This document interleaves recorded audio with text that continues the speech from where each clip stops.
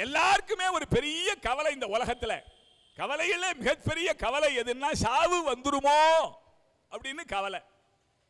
அதனால தான் கொடுமையான கவலை அது என்பதினாலே தான் சாவு எப்போது வரும் என்பதை நம்முடைய கையிலே கடவுள் கொடுக்கவில்லை. டேட் ஆஃப் பர்த் எல்லாருக்கும் தெரியும். டெத்து தெரியுமோ? டேட் என்னன்னு? பிறக்கிற பொழுது இந்த நட்சத்திரம் இந்த தே இதில் பிறந்தான் இந்த தேதியில் பிறந்தான் கரெக்டாக தெரிஞ்சிடுது இந்த ராசியில் பிறந்தான். அவிட்ட நட்சத்திரத்தில் பொண்ணு பிறந்தா தவிட்டு பானையெல்லாம் தங்கமாக கொழிக்கும். பரணி நட்சத்திரத்தில் பிறந்தா பரணி நட்சத்திரத்தில் பிறந்தவன் தரணி ஆழ்வான். மூல நட்சத்திரத்தில் பிறந்தா ஐயோ ஐயோ மாமியார் மூளையில் உட்கார வச்சிரும். ரோஹிணி நட்சத்திரத்தில் பிறந்தா மாமனுக்கு ஆவாது.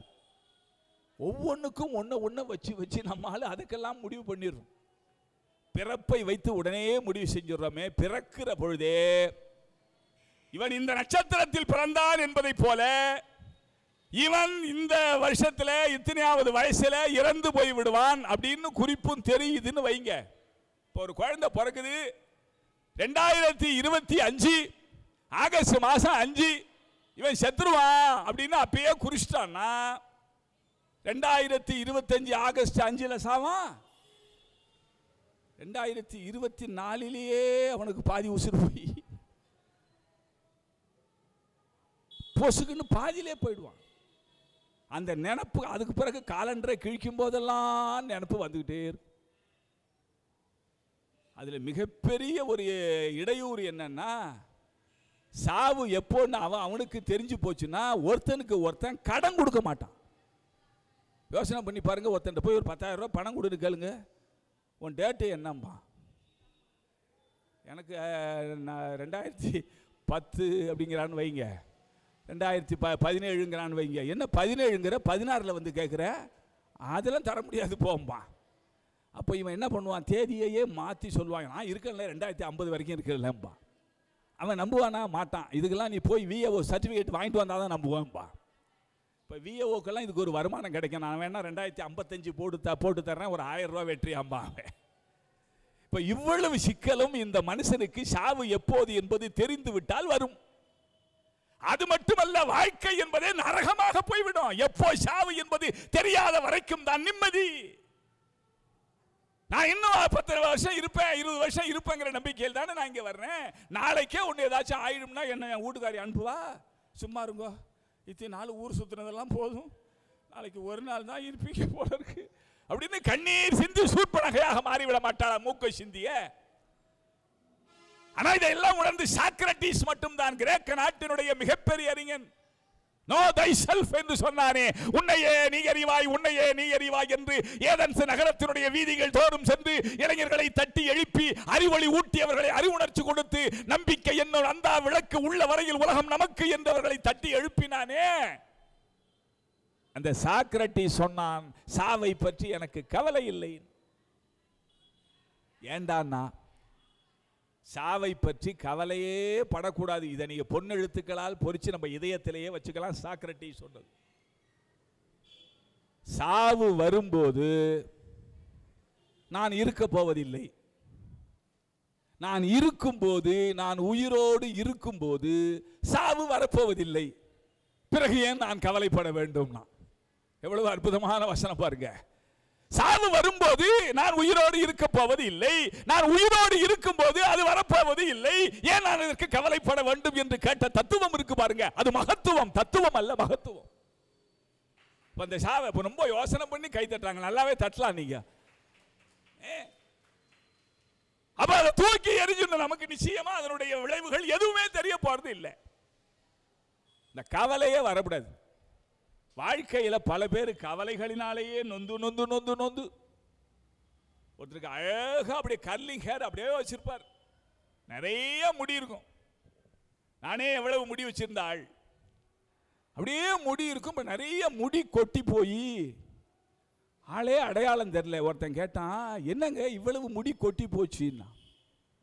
அதுக்கு அவன் சொன்னான் ஒன்றும் இல்லை. கவலை தான் காரணம்னா. என்ன கவலைன்னா முடி கொட்டுதேங்கிற கவலை தான்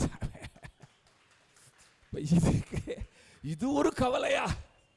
இது ஒரு கவலை என்று மனுஷன் எடுத்து வச்சுக்கிட்டான்னா வாழ்க்கையில் எப்படி சார் நம்ம ஜெயிக்க முடியும்?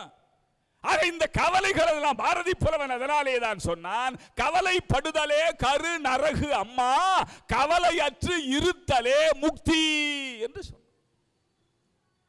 கவலை இல்லாத வாழ்க்கை நமக்கு வேணும். கடற்கரைக்கு ஒரு அம்மா போயிருந்தான்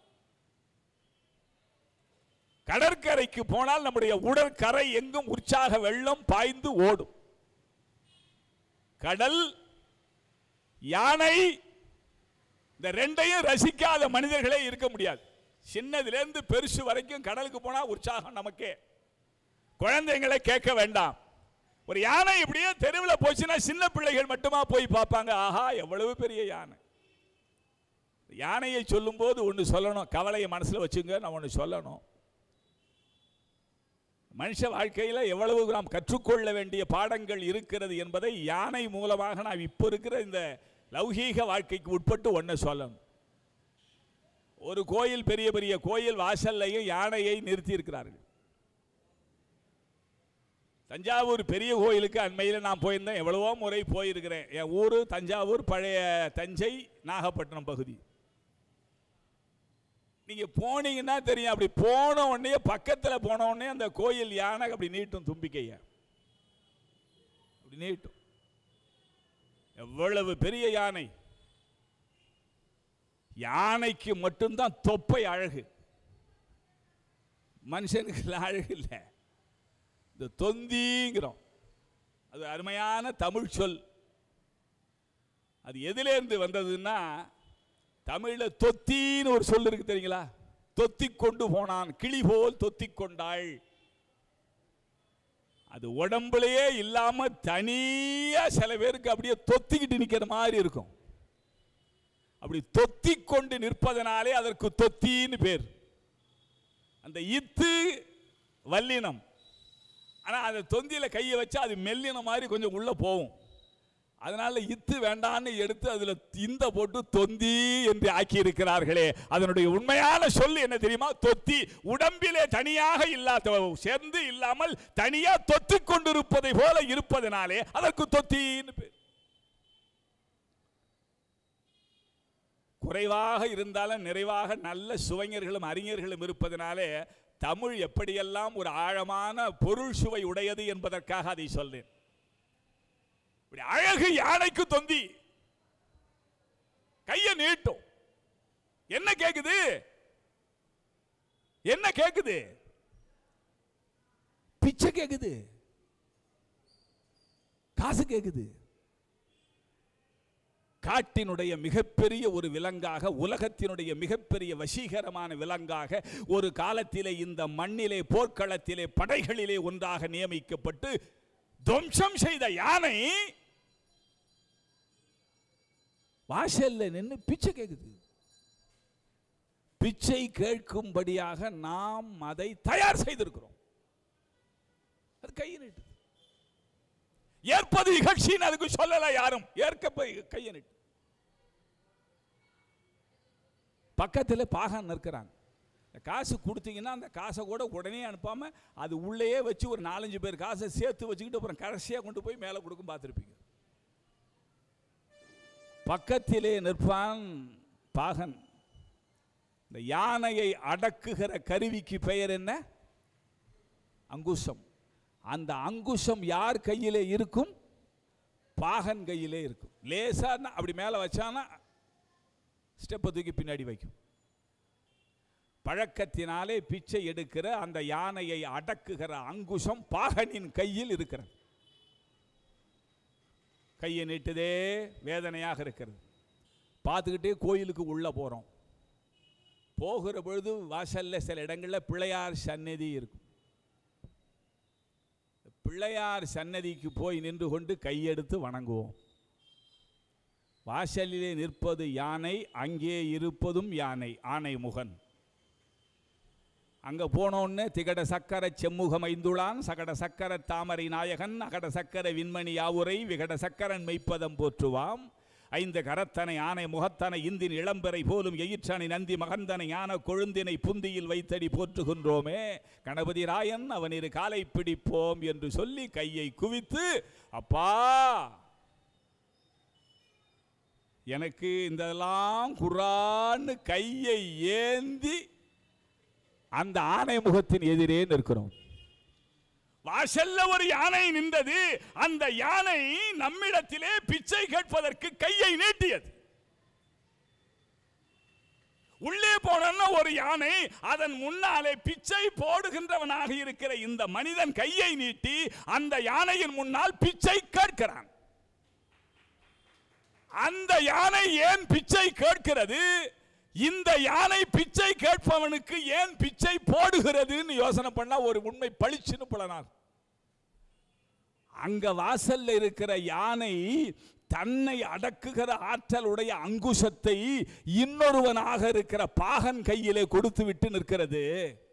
ஆனால் உள்ளே இருக்கிற அந்த விநாயகன் என்கிற யானையினுடைய அந்த கைகளில் ஒரு கையில் அங்குஷம் இருக்கும் பார்த்திருக்கிறீர்களா? அந்த விநாயக பெருமான் தன்னை அடக்கக்கூடிய ஆற்றலுடைய அந்த அங்குசத்தை தன்னுடைய கையிலேயே வைத்திருக்கிறது. எவன் ஒருவன் தன்னை அடக்குகிற ஆற்றலை இன்னொருவனிடம் கொடுக்காமல் தன்னிடத்திலேயே வைத்துக் கொள்கிறானோ அவனுக்கு முன்னால் எல்லோரும் பிச்சை கேட்டு நிற்பார்கள் என்பதை காட்டுவதுதான் அந்த விநாயக பெருமானுடைய தத்துவம் மறந்து விடாதீர்கள்.